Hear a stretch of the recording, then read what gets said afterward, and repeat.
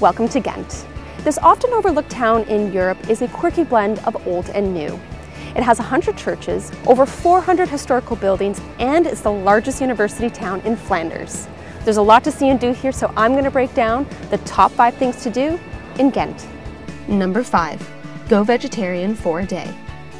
Back in 2009, Ghent declared that every Thursday would be Veggie Day to promote healthier eating and to reduce the amount of meat consumed. It's resulted in Ghent having the largest number of vegetarian restaurants per capita in all of Europe. So if you're visiting, why not do as the locals do? Number 4. Wander through the Castle of the Counts.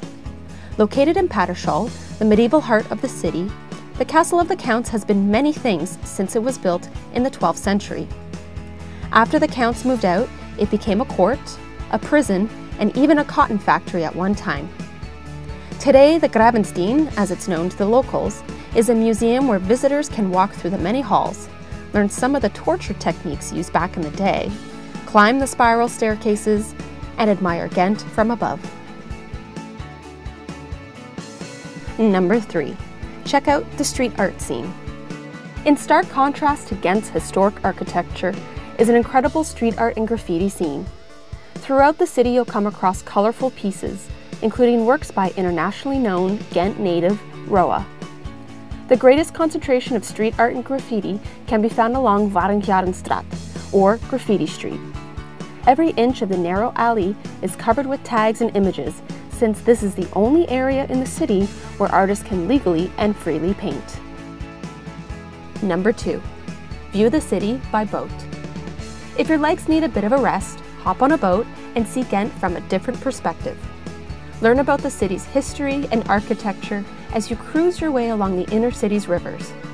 Traditional boat tours are offered every day and are available in a number of different languages. And the number one thing to do in Ghent? Admire the adoration of the mystic lamb.